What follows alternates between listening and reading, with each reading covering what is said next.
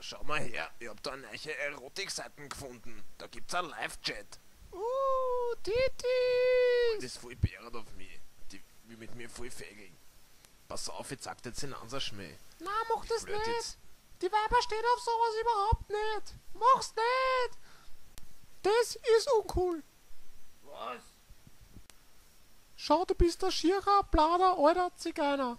Wenn du so deppert schreibst, versteht dich ja keiner. Du musst die Weiber gewinnen und nicht verscheichen. So einen Blödsinn hab ich noch nie gehört. Ja, es ist aber so. Hast schon mal in den Spiegel geschaut? Na, natürlich nicht. Was soll der Scheiß? Schau, ich erklär's dir. Siehst die Tasten da? Die sind alle flach und dreckig. Und deine Witze sind auch flach. Und dein Gesicht ist immer dreckig. Ich weiß ja nicht, wann du mal duschen gehst, aber oft ist es sicher nicht.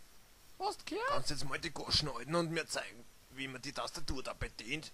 Die Huren machen sich schon so an.